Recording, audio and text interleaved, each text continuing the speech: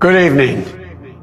Ella Baker, a giant of the civil rights movement, left us with this wisdom Give people light, and they will find the way. Give people light. Those are words for our time. Just a week ago, yesterday, was the third anniversary of the events in Charlottesville. Close your eyes. Remember what you saw on television.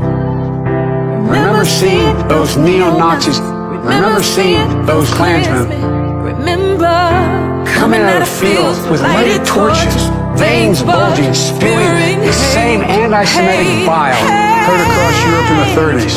Remember the violent clash that ensued between those spreading hate and those with the courage to stand against it.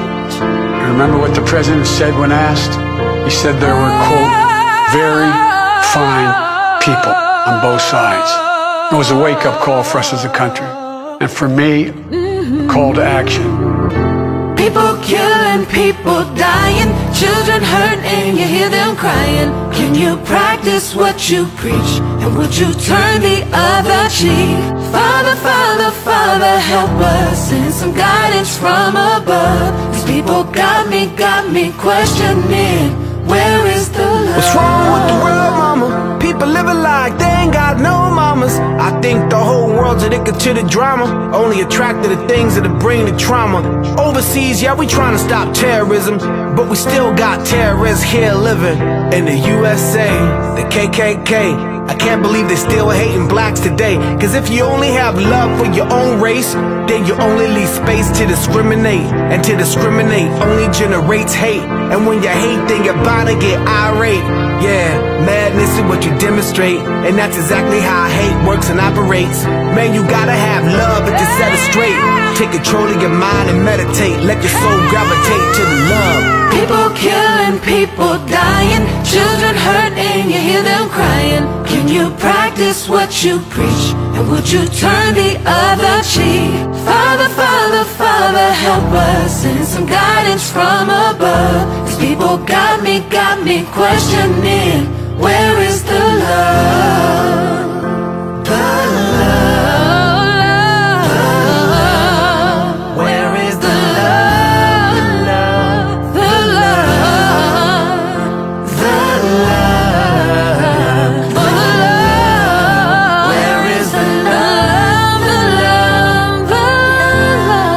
Question for us is simple Are we ready? I believe we are. We must be. We can choose a path of becoming angrier, less hopeful, more divided, a path of shadow and suspicion, or or we can choose a different path and together take this chance to heal, to reform, to unite, a path of hope and light. This is a life-changing election. This will determine what America is going to look like for a long, long time. Yes, it is. Character is on the ballot. Compassion is on the ballot. Decency, science, democracy. Yeah. They're all on the ballot. Who we are as a nation, what we stand for, and most importantly, who we want to be. That's all on the ballot. And the choice could not be more clear.